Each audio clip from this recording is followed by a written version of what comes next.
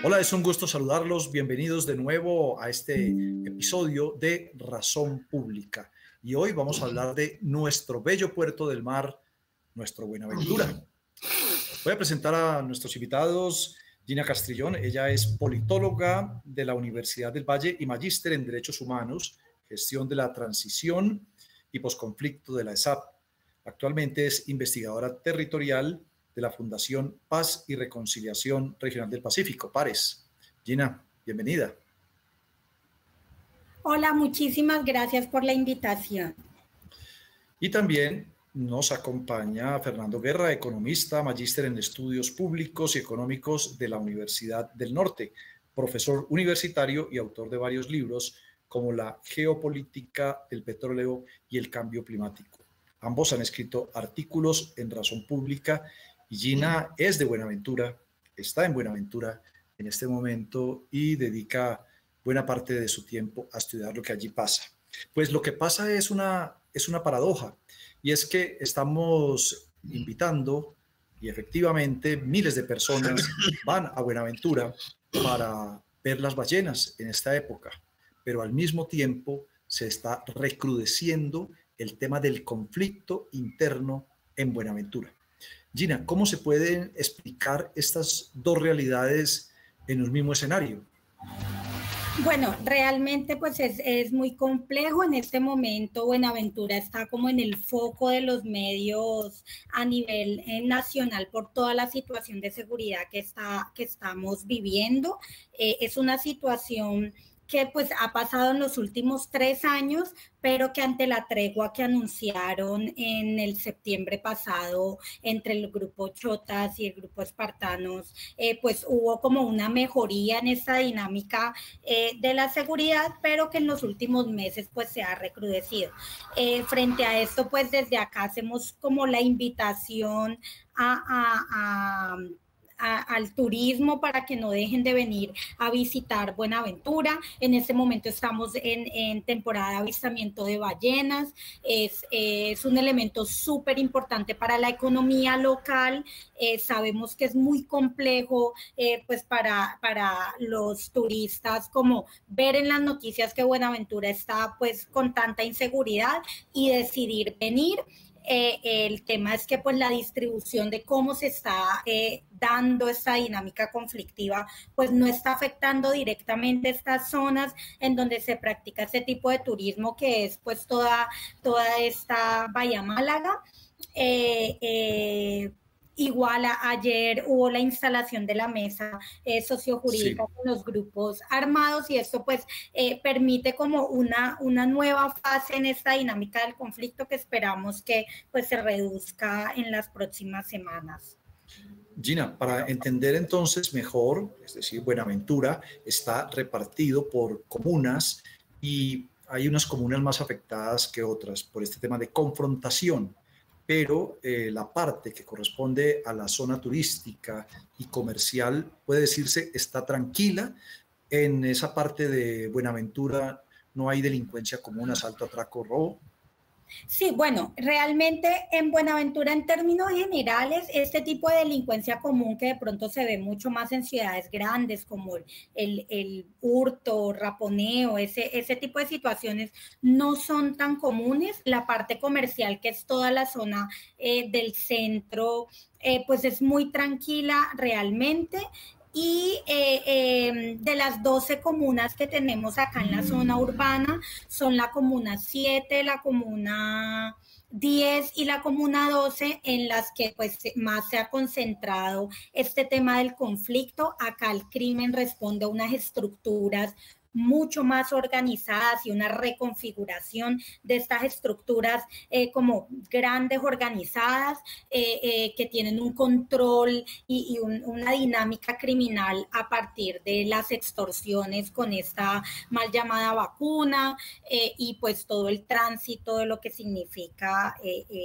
el tema de la droga y pues es, un tema como que responde a unas estructuras más grandes, eh, más allá que ese crimen, crimen común. Estas tres comunas en zona urbana concentran pues la mayor, la mayor manifestación del conflicto en zona urbana, pero eh, eh, pues cabe la pena resaltar que desde Pares siempre lo hemos dicho, como que vivimos en este momento tres guerras. Una es la urbana entre chotas y espartanos y ahora pues que se conocen estos nuevos grupos de, de los chiquillos pero también está la guerra que se libra en el, en el Bajo Calima y eh, aparte en los ríos del sur. Entonces es como unas zonas rurales con una dinámica eh, pues del conflicto con, con el ELN, las AGC, eh, disidencias de FARC y pues con este tipo de delincuencia organizada que opera en la, en la zona urbana.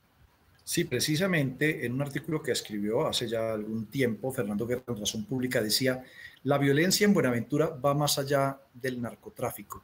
Fernando, y para que quienes nos siguen en este momento y se están asomando al tema de Buenaventura, ¿cómo podemos describir en términos generales esa violencia? ¿Qué conforma la violencia de Buenaventura? Sí, la violencia de Buenaventura, eh, dadas las condiciones eh, estructurales del puerto y de toda la región Pacífico, eh, obedece, como decía Gina, a esta guerra latente eh, del narcotráfico que tiene su sustento en las condiciones eh, sociales y económicas de Buenaventura en particular. ¿sí? los beneficios del puerto eh, no se traducen en el bienestar general de la población. Y como decía el Centro de la Memoria Histórica, eh, Buenaventura es un puerto sin comunidad.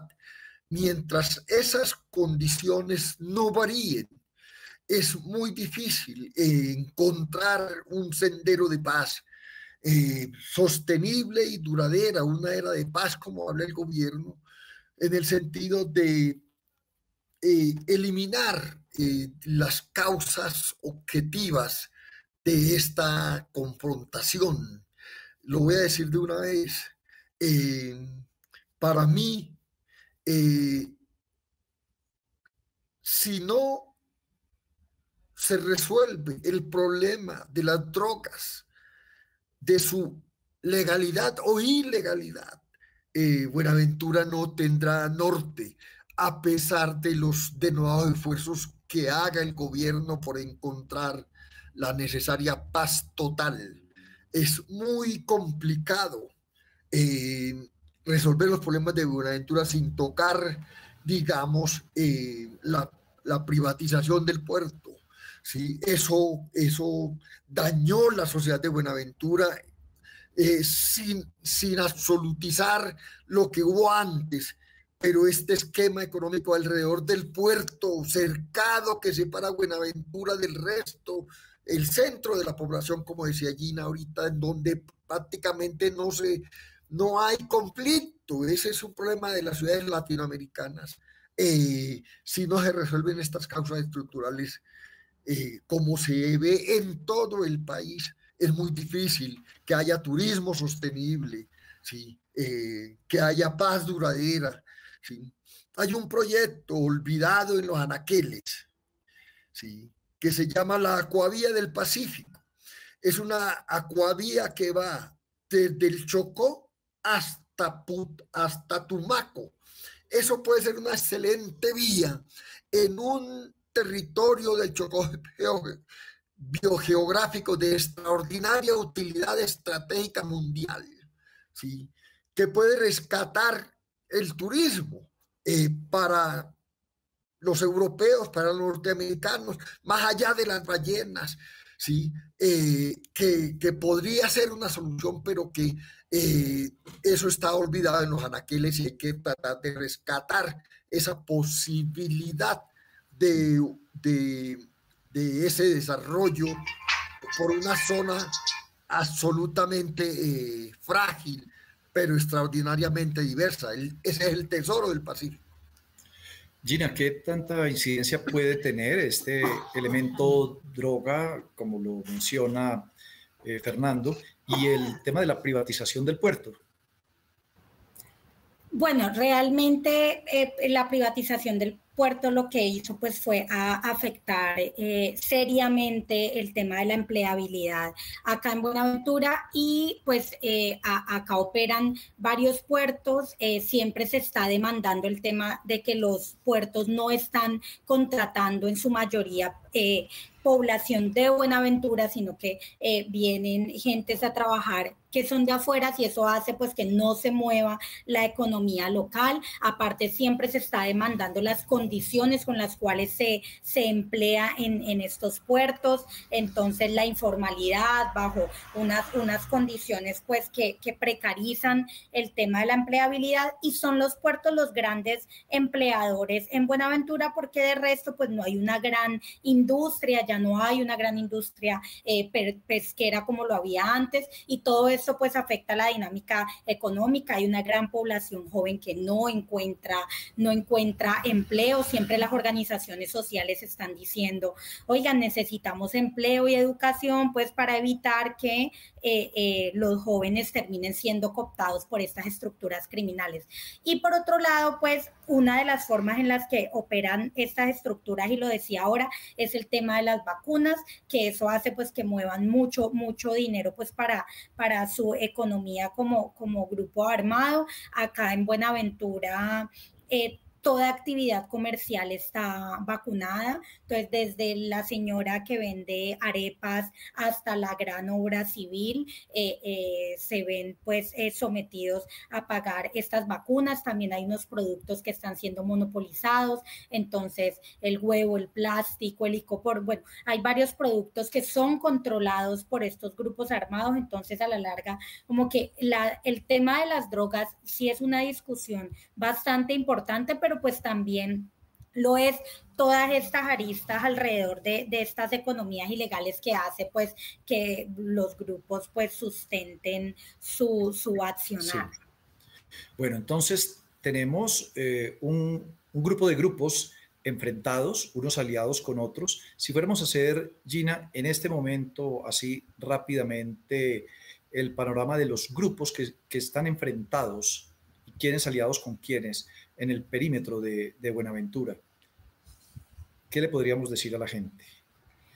Eh, bueno, eh, ahora que decía lo de las tres guerras, entonces, por ejemplo, en las cuencas de los ríos del sur, hemos, eh, pues evidencia presencia de las disidencias de las FARC de este frente Jaime Martínez y una alianza entre el ELN y la Segunda Marquetalia, entonces han habido como momentos muy, muy eh, eh, fuertes de tensión hacia eh, Yurumangui, hacia el Naya. Han habido momentos el año pasado de desplazamientos, desapariciones, de, de liderazgos que está ahí como muy, muy seria la situación. Está el Bajo Calima y el Bajo San Juan, ahí se encuentran el ELN y el Clan del Golfo. De hecho, el pasado marzo hubo una manifestación de comunidades de estos consejos comunitarios en un punto principal de la vía, pues que entra acá a Buenaventura, manifestando pues esa preocupación frente a la crisis humanitaria que genera la presencia de estos grupos. Los liderazgos denuncian eh, que les retienen la cédula, les revisan los celulares, siempre están controlando el tema de la movilidad y pues en la, en la zona urbana que están los chotas y los espartanos que, que vienen de la antigua llamada eh, la local y ahora los chiquillos y un poco este grupo eh, eh, Jalisco Nueva Generación que vienen de lo que era eh, la empresa. Entonces lo que pasa es que ha habido toda una reconfiguración alrededor de estos grupos armados y de cómo se están disputando el territorio. tenemos pues unas zonas con unas fuertes, marcadas fronteras invisibles que hacen que los no puedan cruzar. Sí, los chiquillos y los y Jalisco Nueva Generación ¿Están independientes o se han unido a otros más grandes? Bueno, justo lo planteaba en, uno de los artículos que pude escribir para Razón Pública y es que se han generado unas alianzas con los chotas y los espartanos, que son grupos de pronto un poco más fuertes y que venían eh, eh, como en esta disputa desde hace tres años eh, y este otro grupo, los chiquillos, estaba como al margen, pero entonces eh, al interior de los chotas y los espartanos empezaron a manifestar una especie de pago de recompensas por eh, quien logre llevar la cabeza de un cabecilla del otro. Entonces esto hizo que entrara en jugada este, los chiquillos que se aliaron con los espartanos aparentemente, y eh, luego esta facción un poquito más pequeña de, Jalisco Nueva Generación, que fueron los últimos videos que hace poco se conocieron a nivel eh, nacional de un grupo de, personas pues encapuchadas con muchas armas, pues manifestando el control, en este caso de varios barrios de la Comuna 10. Esa es como la dinámica de estos grupos en este momento. Muy bien, hecho ese mapa entonces, Fernando, eh, ¿Qué ha hecho históricamente el Estado frente a eso? ¿Ha acudido siempre a la solución militar? ¿Qué tan efectiva ha sido la solución del pie de fuerza frente a, esta circunstancia que, por el, que antes que disminuir, por el contrario, va creciendo? Sí, eh, la experiencia histórica muestra eh, la inutilidad eh, sin atacar la raíz objetiva del problema de la presencia de la fuerza pública. Eh, ha habido episodios donde en los gobiernos anteriores, donde el puerto está prácticamente militarizado, y lo que usted recoge de esta experiencia hoy es que eh, el asunto no se resuelve y no que se complica, a pesar de los esfuerzos del, nuevo gobierno por encontrar la paz total, eh, con todos sus eh, bemoles que eso tenga, y el esfuerzo de, la curia y de los sectores eh, ciudadanos de Buenaventura por encontrar una solución. Esto es como la cuadratura del círculo. ¿sí? Yo quiero hacer hincapié en una, en una realidad geográfica y climatológica del Chocó biogeográfico donde está Buenaventura. Y es que los suelos de los departamentos del Chocó, de Buenaventura, del Cauca y de Nariño son en general suelos de conservación, ¿sí? en donde las posibilidades de, de, cualquier actividad que no, que, que, que se atenga al cuidado de la naturaleza no tiene espacio en, Buenaventura por la calidad de los suelos. Esto es un estudio de investigadores del Banco de la República que se llama La Economía del Pacífico, donde retrata esta realidad, digamos, eh, de las, de, del territorio del chocobio geográfico. Entonces, eh, desde ese el Chocó geográfico que tiene una característica esencial y es que es el y agua, de ir a autopistas naturales para el comercio internacional del alcaloide.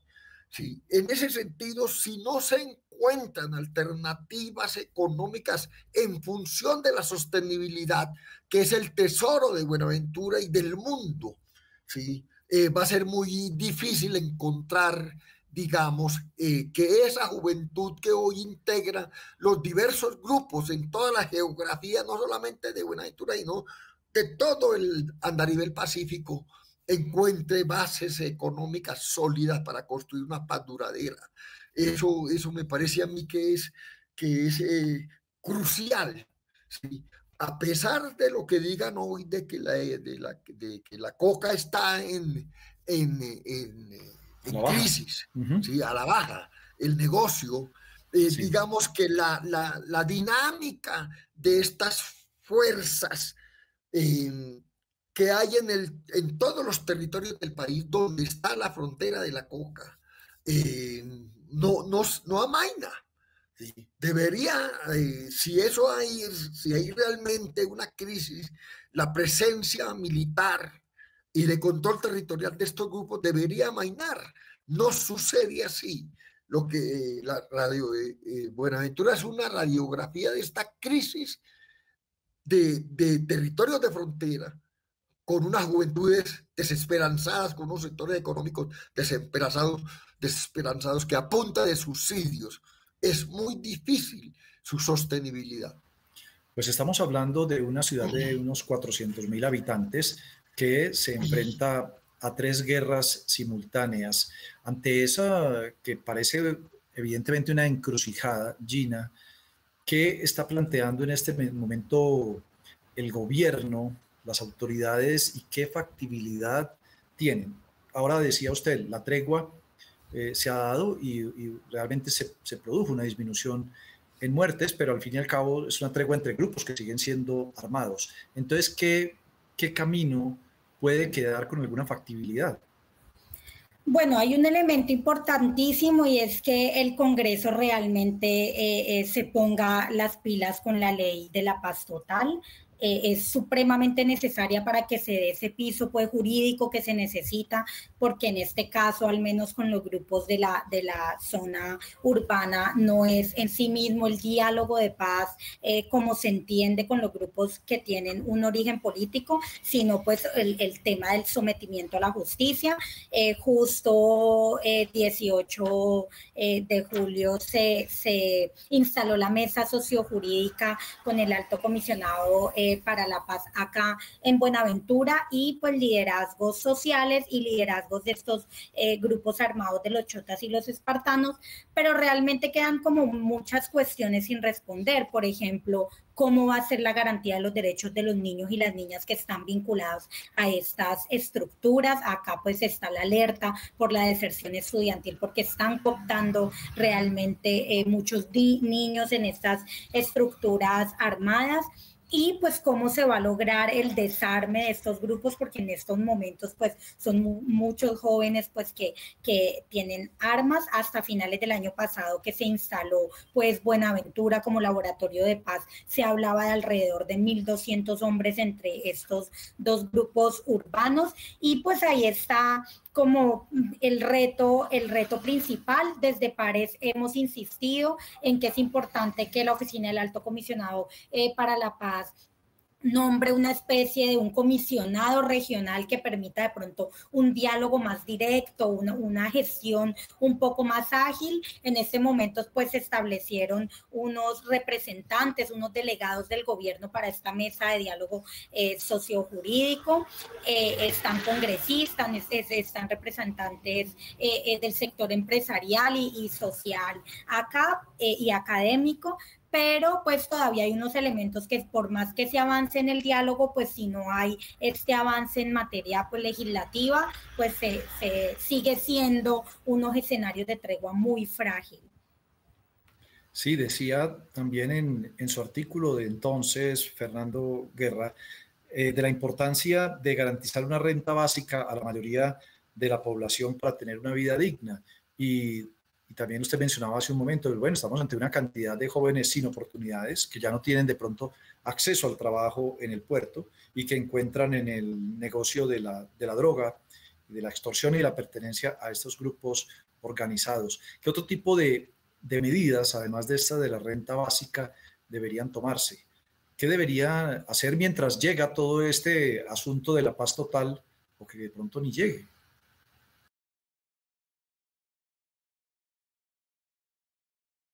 ¿Me, preguntas? ¿Aló? Fernando, le, no sé si me escuchó. Le... Sí, sí, sí, sí. No, es que eh, el asunto es demasiado complejo. Desde luego, sí. Entonces, el gobierno intenta por varias vías, por ejemplo, esta que acaba de anunciar de de, de pagar por no matar, que así como se presenta en los medios es como una simplificación, pero digamos que, que buscaría eh, una solución en el sentido de renta básica, ¿sí? porque eh, mientras el grueso de la población mantenga en esas restricciones presupuestales tan absurdas, mientras el otro lado de la ecuación de la, de la sociedad de Buenaventura se lucra del negocio portuario. va a ser difícil encontrar eh, soluciones desde la producción en un territorio frágil, una economía que sustente, digamos, eh, el hecho de que la población tenga eh, educación, servicios públicos, que la población tenga una vida que considera deseable, no este drama de Buenaventura de todos los días. ¿sí? Yo le he puesto la paz total, ¿sí? pero, pero yo no soy optimista en relación a eh, los resultados de todo este descomunal esfuerzo del gobierno en busca de la paz total. Eh, si, no, si no encontramos eh, un Estado que provea vía impuestos, ¿sí? estas, estas estructuras socioeconómicas contrarias al interés general de la población, no, no vamos a encontrar salidas. ¿sí? El director de Planeación Nacional hablaba en estos días de, la participación, del Sistema General de Participaciones que, que eh, tiene su foco en repartir eh, en condiciones iguales los recursos del Sistema General de Participación entre Bogotá y Buenaventura o entre Bogotá y Quito. ¿sí? Eso no, eso, esa no es una salida. Porque si tú vas a evaluar con esos criterios, eh, lo que le toca a las regiones, eh, siempre se van a ver afectadas estas, estas poblaciones, estas regiones que no se pueden comparar con Bogotá. Eh, la región del Pacífico, más allá de Buenaventura, requiere que se valore el agua, la biodiversidad, ¿sí? la paz, para, para que el, los flujos del sistema general de participaciones vayan hacia esas regiones, no en equilibrio con todo el país, sino en desequilibrio a favor de las regiones dispersas, las regiones como Buenaventura y todo el Pacífico. Gina, usted nació en Buenaventura, ha pasado buena parte de, de su vida en Buenaventura, es una politóloga, una mujer joven. ¿Ha oído hablar de esto desde que, desde que tiene uso de razón? Bueno, eh, realmente el tema es que a, la dinámica del conflicto siempre ha estado presente en Buenaventura. En los 90, pues la, presencia de las, de las FARC era bastante importante. Luego, a inicio de los 2000, así como pasó en todo el país, entran pues todos estos grupos paramilitares. Eh, eh, tuvimos pues tristemente una, unas masacres bastante terribles. Está el, caso emblemático de los 12 jóvenes futbolistas del, barrio Punta del Este. O sea, realmente la dinámica, reconocer que ha habido una dinámica del conflicto como en todo el transcurso de, de la historia pues reciente de Buenaventura pues es, hay que reconocerla, es triste saber que ha, mutado entre los años 2013-2014, también tuvimos unas situaciones terribles, a nivel nacional se reconocía también eh, mediáticamente todo el tema de las casas de pique, luego volvió a bajar, luego pues hace tres años vuelve y se exacerba el, el conflicto porque se reconfiguran esas estructuras. Entonces, pues tristemente es, una historia que siempre nos ha marcado, pero también nos ha marcado una historia de una cantidad de organizaciones sociales, de mujeres, de jóvenes que le apuestan a todo el tema del, turismo, de la cultura, del arte, eh, eh, de, la resistencia, ¿no? Eh, que es muy importante acá, de verdad, hay, hay muchas mujeres que se dan a la pela en los territorios para poder lograr que los jóvenes no sean cooptados por los grupos, es muy complejo, pero pues hay una dinámica de resistencia pues eh, que está ahí paralela a toda esta transformación del conflicto y pues que, que insiste, ¿no? Que es eh, importante ¿Y cómo se siente, cómo se siente ahora Gina frente a la posibilidad de soluciones y tomando como referencia lo que decía Fernando?